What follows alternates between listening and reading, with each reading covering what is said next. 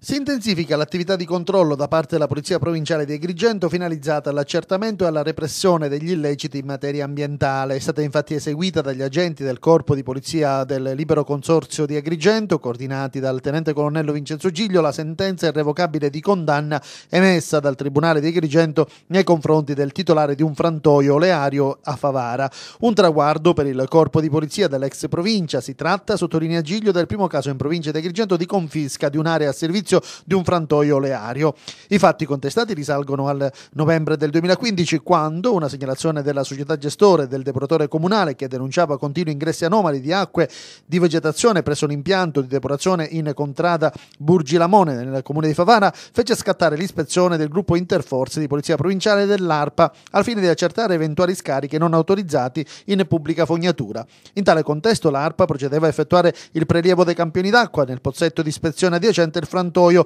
e nello stesso tempo veniva immesso in seguito la eh, fluorescenza sodica tracciante per individuare il percorso e verificare se il pozzetto fosse collegato o meno alla pubblica fognatura. L'accertamento aveva prodotto esito positivo poiché il tracciante giungeva a valle in un canalone scatolare in cemento distante circa 400 metri dal frantoio a cielo aperto, miscelandosi con le acque della pubblica fognatura, così come verificato dal personale dell'ARPA.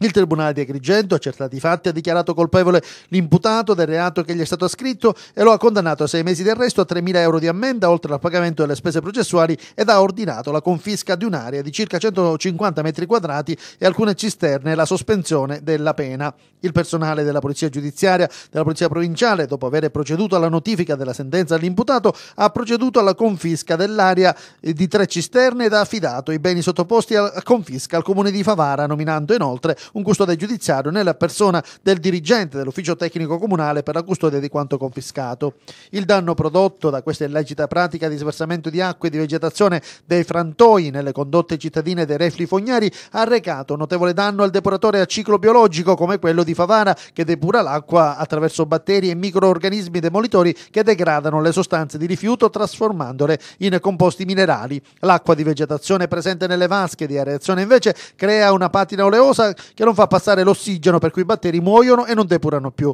Per il ripristino di ciclo di vita dei batteri necessitano da 4 a 6 mesi, durante il quale il depuratore non svolge la sua funzione primaria di depurazione e quindi si ha un inquinamento dell'ambiente circostante.